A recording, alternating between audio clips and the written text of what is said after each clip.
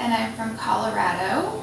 Um, I found Cancun Dental online while researching. I was um, concerned I needed to have a root canal and I kind of felt like I knew I had to have some other work done from some past um, dental um, issues and um, I kind of looked online for uh, something that was affordable yet um, great technology and great dentists and I found Cancun Dental and decided to um, put it together into a vacation um, and I've been really happy with the results.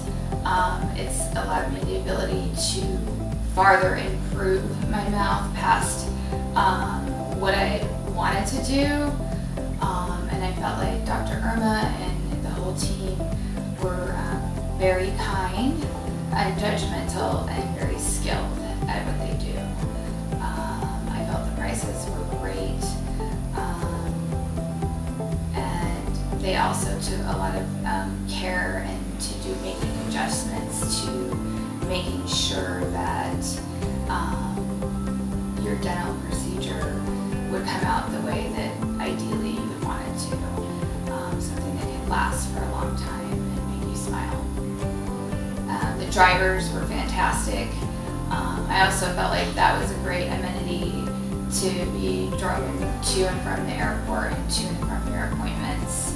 Um, very safe. They also gave great recommendations of places to stay, places to go, um, and just very thoughtful, kind people. So I can't thank them enough. So do you think you're going to be able to recommend us? Yeah. Yes, I will definitely recommend you um, to close friends and um, you know family. My next trip, I'm bringing my boyfriend to get some dental work done, probably. so yeah, I will definitely recommend you. And I, you know, as much as people, I'm looking forward to my next trip back